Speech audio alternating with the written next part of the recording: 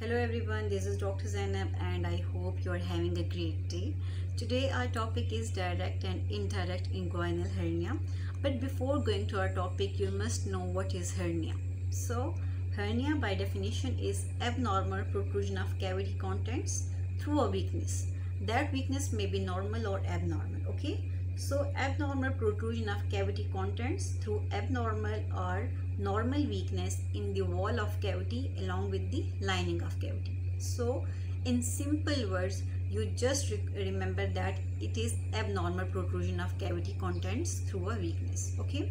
So there are different types of hernia depending on the location like umbilical hernia, paraumbilical hernia, hiatal hernia, lumbar or Petit's hernia and indirect and inguinal hernia okay? So today our topic is direct and indirect inguinal hernia. I have i have already drawn a diagram for you.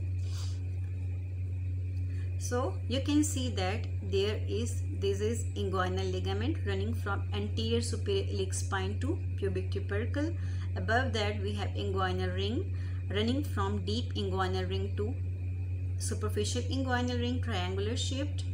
Then below uh, beneath the inguinal canal and inguinal uh, inguinal ligament there runs inferior epigastric vessels okay? You can see inferior epigastric artery and inferior epigastric vein.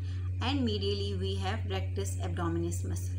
So these whole structures form a triangle known and known as Hesselbach's triangle this whole triangle is known as Hesselbach's triangle or inguinal triangle. Okay, so let's recall the uh, borders of Hesselbach's triangle.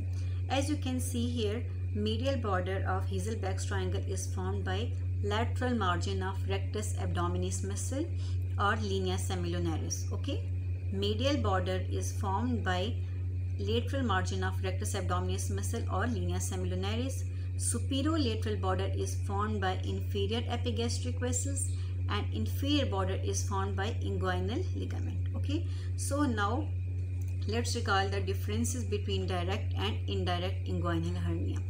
So indirect inguinal hernia passes through the inguinal canal. Indirect inguinal hernia passes through this inguinal canal. This inguinal canal, okay?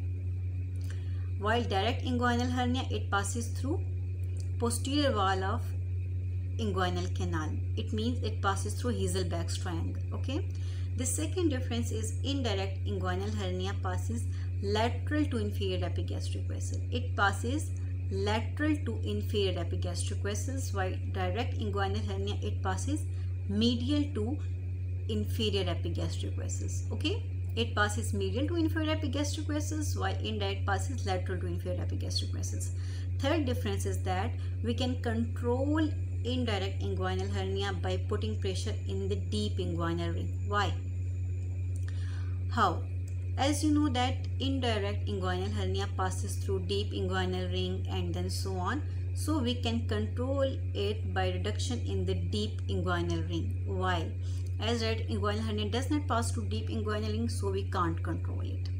The fourth difference is that indirect inguinal hernia is not palpable. Why? Because anteriorly there lies aponeurosis of external oblique muscle. That's why we can't palpate it.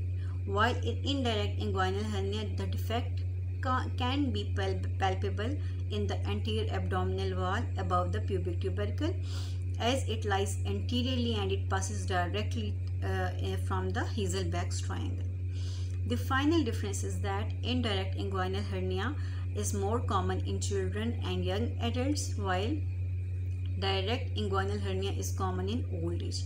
I hope you guys get it well but uh, you must remember this diagram. This diagram is very much important.